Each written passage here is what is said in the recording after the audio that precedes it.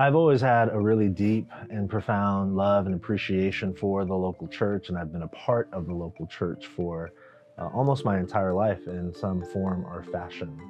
And one of the things I've thought about and realized um, on a visceral level in recent years is that throughout her history, the church, uh, in her lowest moments, um, has acquiesced and given in thoughtlessly and carelessly often to the dominant culture of the day and the technologies of the day.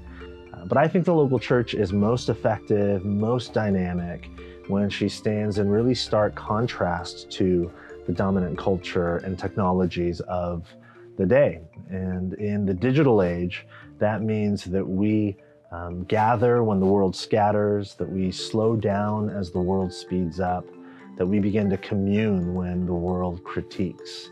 And in the digital age, I think the church has an incredible opportunity to be who she's always been, and in doing so, to stand in stark contrast to uh, the dominant culture and technologies of the day. What does this mean for the way we gather to worship? What does it mean for the way we experience community with one another? What does it mean for the way we engage um, the big, grand, beautiful narrative of Scripture together?